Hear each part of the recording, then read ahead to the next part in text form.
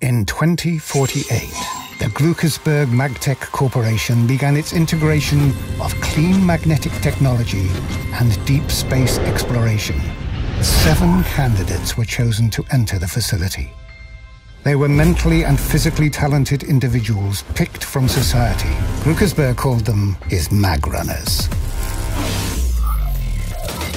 A 500,000 square foot training facility filled with puzzles and physical obstacles was built over the San Andreas Rift. These Magrunners would be trained to use Gruckezber's new magnetic technology.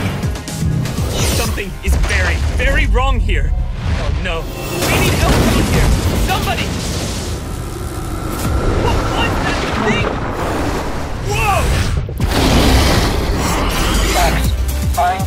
A out. I'm trying!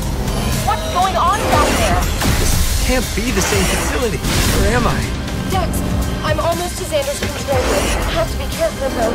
I saw some thing. What am I supposed to do, Gamaji? I'm not leaving her here!